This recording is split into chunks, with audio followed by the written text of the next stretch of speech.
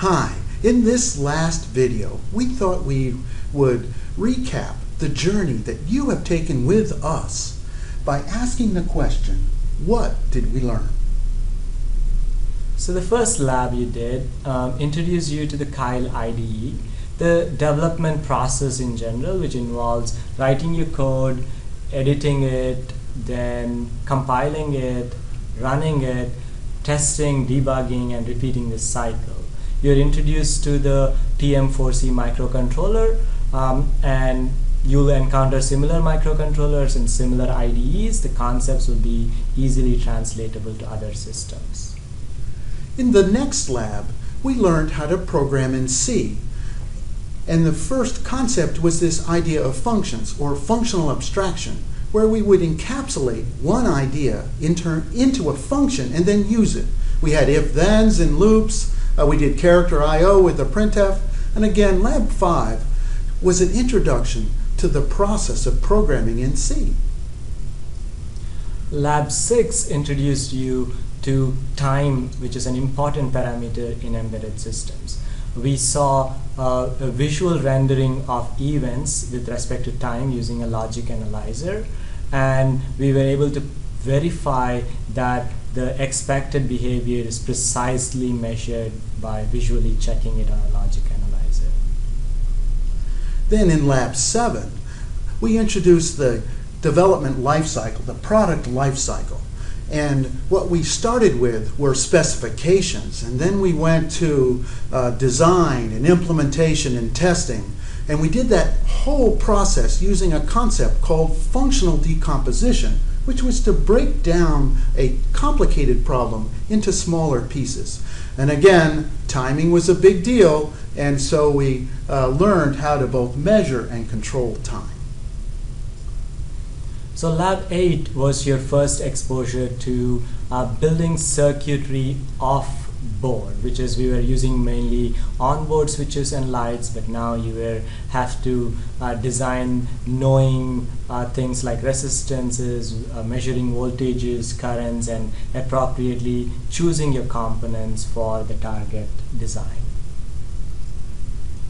And then in lab 9 uh, was our first effort of proving that our software works. Embedded systems, as you know, are deployed in situations where life critical functionality must be guaranteed. And so we introduced this idea of functional debugging, and we use an array to capture the input, the output, but not only what they were, but when they occurred. And so this was a minimally intrusive uh, dumping into an array such that we could demonstrate and verify that our software and hardware was working as intended. We know Lab 10 gave uh, uh, problems to some of you. Uh, it was a little challenging, but what we want you to take. You see my finite state machine? That was my answer right there. What what we want to you to take away from Lab 10 is that uh, finite state machines are a very effective tool that you want to have in your toolbox when designing complex systems because you separate the engine from the data and you focus on the data and the engine is the same engine that you repeatedly use for any system. And this was also your introduction to SysTick which allowed you to introduce time related events into your finite state machine. Then in lab 11 what you'll notice that we communicated between one computer and another. And we did something very simple, but this is the essence of what people are now calling the Internet of Things, where all the computers are connected up. And in particular, embedded systems are out there at the forefront, at the edge of the world, uh, gathering information and affecting the world. And so we saw the UART was a simple way to send data in serial fashion from one computer to another. Uh, we saw that we could represent non-integer values uh, using something called fixed point, and we had a new programming uh, tool called a string, which was a variable length ASCII uh, set of characters.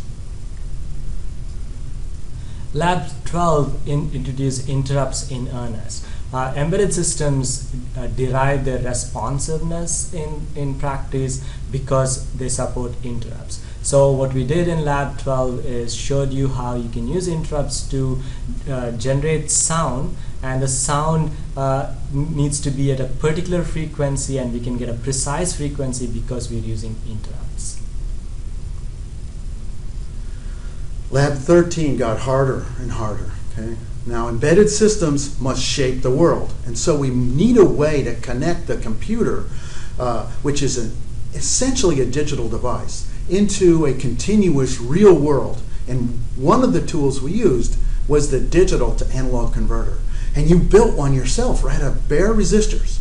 And so it took a digital number and created an analog output. Whenever we consider this conversion between digital and analog, we must sample or discretize both in amplitude and in time. That's what we call sampling.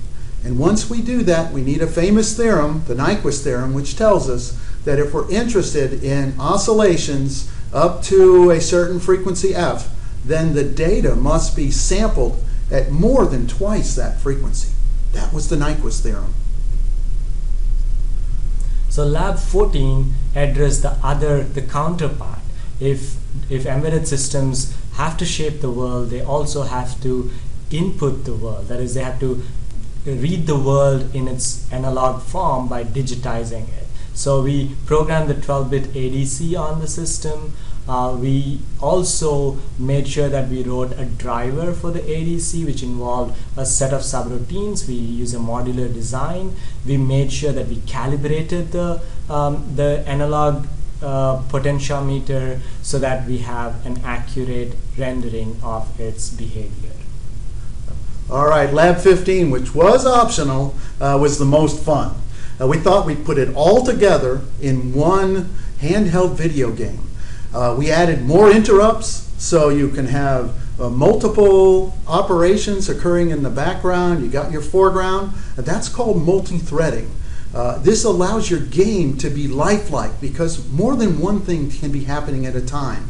Uh, the graphical structures, the, the images that we generated on the screen, uh, we used a C programming concept called structures. And uh, we rendered those structures to produce the graphical image. So again, the purpose of Lab 15 was to put all the concepts together, the D to A, the A to D, the interrupts, the C programming, the testing, all of that uh, into one program uh, that, that's fun to play. So I hope you enjoyed uh, doing all these labs. You learned something, uh, and you're gonna uh, use these concepts in uh, your life as you go along, develop as an embedded systems engineer. Uh, we'd like to summarize some of the best practices. Uh, these are by no means the only ones, but these are things that we think are good things to take away. Um, so rather than talk about all these, we'll talk about what is uh, our favorite of these. Uh, my favorite is try until you succeed. Keep trying. Uh, be courageous. The best programmers in the world didn't happen overnight. They they had enough failures to talk about, and that's how they showed that they're courageous and not afraid to make mistakes. And show your work to others. That's how you uh, you make sure that people can correct you and you can become a better engineer. This is my approach to life. Uh, in order to be truly successful you need other people around you uh, to support and encourage. And so i know that i can only be better when I'm surrounded by people who are smarter than I am. So I go out in the world and find the most, uh, the nicest and the happiest and the most intelligent people, and I ask, Can I work with you? Uh, in that way, I know uh, that they will make me better. So I hope uh, this has been a journey that was worthwhile for you. It's been really worthwhile for us, and we hope to see you again. Yep. See you on the internet.